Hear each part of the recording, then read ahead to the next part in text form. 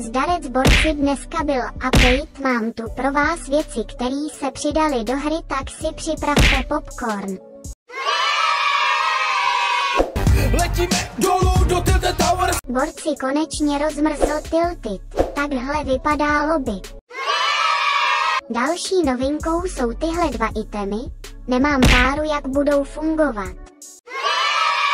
Třetí novinka je tenhle dinoš, kterého jsme viděli v traileru na sezónu. Čtvrtá novinka je další nová lokace. Ranger dostal buff a MK7 nerf. Takhle vypadá mapa po updateu.